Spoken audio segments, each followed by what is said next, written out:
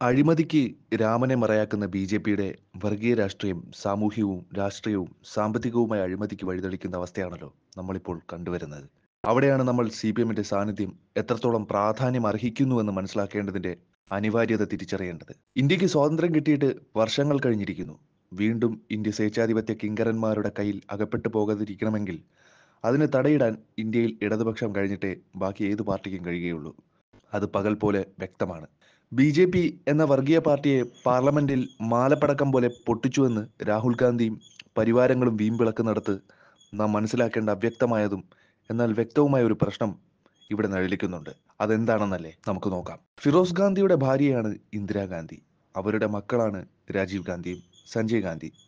അതിൽ രാജീവ് ഗാന്ധിയുടെ ഭാര്യയാണ് സോണിയാഗാന്ധി അവരുടെ മക്കളാണ് രാഹുൽ ഗാന്ധിയും പ്രിയങ്ക ഗാന്ധിയും. എന്നാൽ രാഹുൽ ഗാന്ധിയും പ്രിയങ്ക ഗാന്ധിയും പറയുന്നതോ അവർക്ക് ഈ ഗാന്ധി കുടുംബവുമായിട്ട് ഒരു ബന്ധവുമില്ല താനും. ശരിയാണ്. അവർക്ക് ഗാന്ധി കുടുംബവുമായിട്ട് ഒരു ബന്ധവുമില്ല. അവർ നെഹ്റു കുടുംബമാണല്ലോ. പക്ഷേ അവർ ഇവിടെ ചെയ്യുന്ന മറ്റൊരു രാഷ്ട്രീയ ബുദ്ധി ഗാന്ധി എന്ന പേരിനെ രാഷ്ട്രീയപരമായി മാർക്കറ്റ് ചെയ്യുന്നു എന്നുള്ളതാണ്.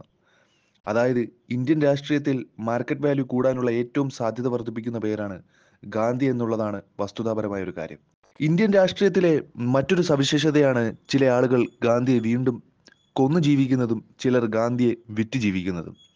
ഇങ്ങനെ ജീവിക്കുന്നവരിൽ ബി ജെ പിയും കോൺഗ്രസും പെടുമെന്നുള്ളതാണ്. പുതിയ ചരിത്രം നിർമ്മിച്ച് ഭാവിയെ നിയന്ത്രിക്കാമെന്നാണ് സ്വേച്ഛാധിപതികളുടെ വിശ്വാസം. എന്നാൽ പഴയ ചരിത്രം നിലനിർത്തി കുടുംബവാഴ്ച നിലനിർത്താനാണ് ഗാന്ധി കുടുംബത്തിന്റെ ലക്ഷ്യത്തെ വിലയിരുത്താൻ സാധിക്കുന്നത്. ഇനിയിപ്പോൾ സംഭവിക്കാൻ പോകുന്നത് ഇന്ത്യയിലെ ചരിത്രമെല്ലാം തലകീഴായി മറിയുമെന്നുള്ളതാണ്. ഗാന്ധിജി പനി വന്നാണ് മരിച്ചതെന്നും അദ്ദേഹത്തെ ആശുപത്രിയിൽ കൊണ്ടുപോകാനാണ് നാഥുറാം ഗോഡ്സെ എത്തിയതെന്നും നമ്മുടെ വിദ്യാർത്ഥികൾ നാളെ പഠിച്ചുകൂടായികയൊന്നുമില്ല. ബാബറി മസ്ജിദ് എന്ന പേര് നമ്മുടെ വിദ്യാർത്ഥികളുടെ ചരിത്രത്തിൽ പോലും ഇന്ന് കാണാൻ സാധിക്കുകയില്ല. പകരം മൂന്ന് മിന്നാരങ്ങളുള്ള കെട്ടിടമെന്ന് മാത്രമാണ് ഇന്ന് അതിന്റെ പേര്. എല്ലാവരോടും തുല്യതയോടെ പ്രവർത്തിക്കണമെന്ന് ഭരണഘടന തൊട്ട് ആറ് തവണ സത്യപ്രതിജ്ഞ ചെയ്ത പ്രധാനമന്ത്രിയാണ് മുസ്ലിങ്ങളെ നുഴഞ്ഞുകയറ്റക്കാരായും പെറ്റുകൂട്ടുന്നവരുമായി ചിത്രീകരിക്കുകയും അവരുടെ വീടുകളിലേക്ക് ബുൾഡോസറുകൾ അയക്കുകയും ചെയ്തത്. താമര മാറ്റി ബി ജെ പി അവരുടെ ചിഹ്നമായി ബുൾഡോസർ സ്വീകരിക്കേണ്ടി വരുമെന്നാണ് തോന്നുന്നത്. എന്തായാലും ഇവരുടെ രാമൻ ബി ജെ പിക്ക് ഒപ്പമല്ല ഉള്ളത്.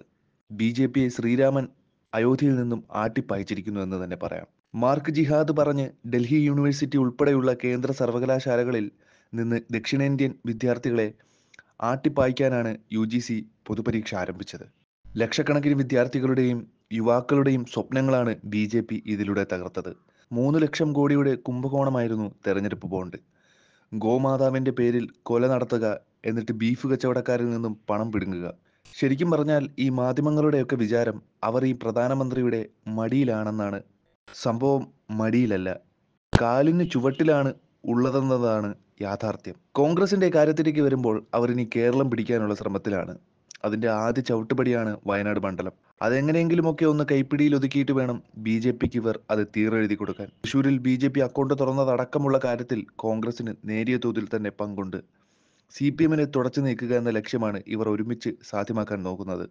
നിങ്ങൾ ഒറ്റക്കെട്ടാണെന്ന് ഇവിടെ എല്ലാവർക്കും അറിയാം. അതിനെ എത്ര പുകമറ സൃഷ്ടിച്ച് മറയ്ക്കാൻ നോക്കിയാലും അതിന് കുറേയധികം ഉദാഹരണങ്ങൾ ഏറെയാണ്.